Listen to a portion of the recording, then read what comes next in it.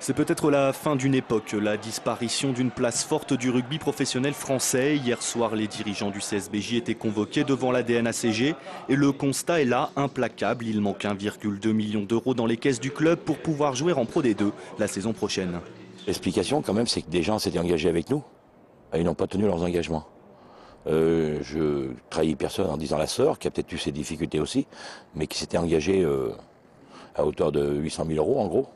Et puis on n'a pas eu, euh, on n'a pas eu ce, cette arrivée. Dans le viseur également du président, les collectivités locales sur les 30 équipes professionnelles que compte l'Hexagone, Bourgoin est celle qui est le moins subventionnée, incompréhensible pour un club qui cette saison encore a été élu meilleur centre de formation et qui a fourni pléthore de joueurs au 15 de France. Para, Miou, David, Chabal pour ne citer que, tous ont été formés en Berjali.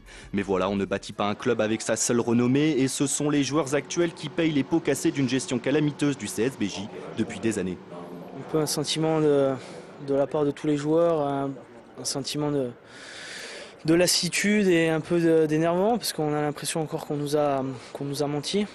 Ce n'est pas la première fois que le club de Bourgoin se retrouve dans cette situation. Lors de la saison 2008-2009, il manquait 2 millions d'euros pour que le club se maintienne en top 14.